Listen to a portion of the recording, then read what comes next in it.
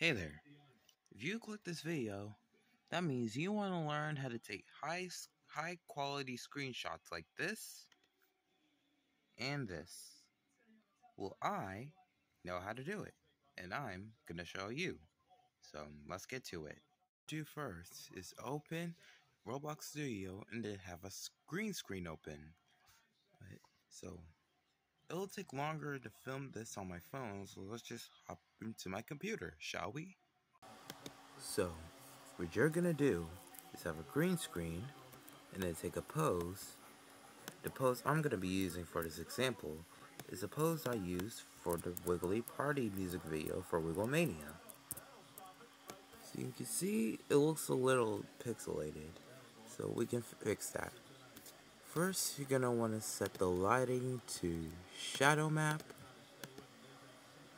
Then, you're going to want to set the environment, environment speculate, or however you say it, to zero. And then set the environmental diffuse to zero too. That'll make it less shiny. And then go to studio settings. And then go to rendering right here. And then set editor quality level to 21. And there, it looks better.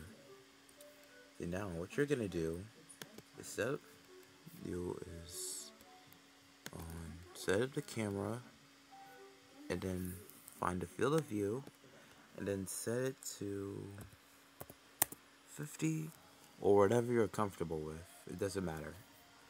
And then go to the view tab and press screenshot. And there, you have a high quality screenshot of your wiggle and of a pose. Now you can use this if you want to take high quality poses of your Wiggles tribute band. Um, thanks for watching. See you later. Also, let me know what else you want me to do in the next video. Or just leave suggestions in the comments. Or whatever. I'm not good at this outro thing. Bye.